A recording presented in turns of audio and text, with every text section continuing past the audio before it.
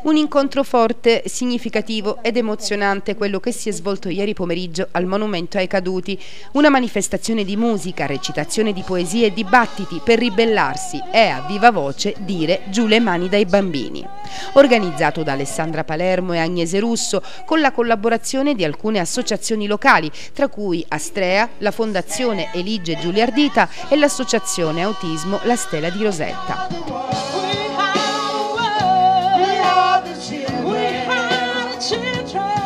Ad aprire il pomeriggio dedicato alla difesa dei bambini dopo i fatti di Bibiano sugli affidi illegittimi, il famoso pezzo We Are the World e poi la stessa Alessandra ha introdotto l'argomento dando alcuni dati e informazioni sul giro di soldi attorno agli affidi presi da fonti ufficiali, nello specifico dall'avvocato Morcavallo. Si stimano ad oggi che i bambini strappati alle famiglie siano circa 50.000 il giro d'affari al 2012 era di 2 milioni di euro. Oggi siamo nel 2019, probabilmente si parla di 4,5 milioni di euro che ruotano intorno a, ai bambini, alle case famiglie, eccetera. Abbiamo bambini strappati per precarietà economica, per problemi di salute dei genitori, per disabilità dei genitori. Durante l'iniziativa anche recitazione di poesie con la voce dell'attrice Nadia Iemmolo e i testi della professoressa Rosa Peluso. Chiedo il diritto di essere bambino, di essere speranza di un mondo migliore e di poter crescere come persona. Posso contare su di te Chiedo il diritto di avere la mia famiglia e di poter vivere felice. Un breve dibattito sull'aspetto psicologico su come riuscivano a resettare quei bambini che si trovavano nelle strutture. A dare delle informazioni ai presenti la dottoressa psicologa Simona Matera. Un pomeriggio emozionante che ha raccolto tantissime mamme presenti per difendere i diritti dei bambini. Per me essere qui è un contributo, è una richiesta perché venga musica, attenzionata questa questione, partendo da Bibbiano e che vengano con controllate tutte le città perché questo non avvenga altrove. Cosa significa per lei essere oggi qui?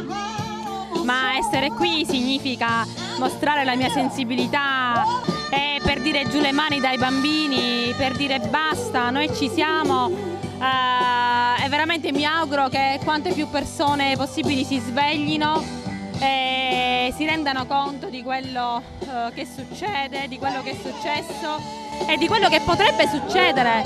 Più siamo, dobbiamo gridare tutti, dobbiamo essere tutti uniti. Cioè è impossibile che siamo sempre in pochi a combattere. Per me come mamma significa essere qui e dare anche la nostra voce, eh, esprimere anche la nostra paura di genitore nel momento in cui si viene a scoprire che una realtà del genere in realtà eh, è stata, viene scatenata spessissimo nella maggior parte dei casi da futili motivi e quindi a quel punto siamo tutti a sentire la paura. Ascoltando le storie di tanti genitori abbiamo capito che potenzialmente chiunque potrebbe essere dico, eh, di mira, preso di mira da, dalle istituzioni ed essere considerato eh, un genitore poco, poco, attento ed entrare in questo vortice assurdo che poi alla fine non tutela effettivamente il bambino ma va ad alimentare un mercato dove il fine ultimo sono i soldi. Quindi questa è la paura che noi abbiamo oggi come genitori, la paura anche di non poter contare sulle, di non poter continuare ad avere fiducia nelle istituzioni.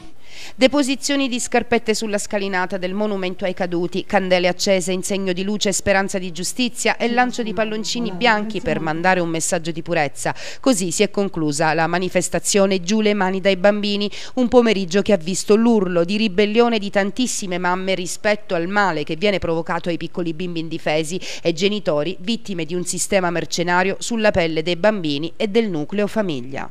Il bambino ha bisogno di di due figure importantissime, mamma e papà, ha bisogno della sua famiglia. Non servono ricchezze, non serve niente, solo l'amore.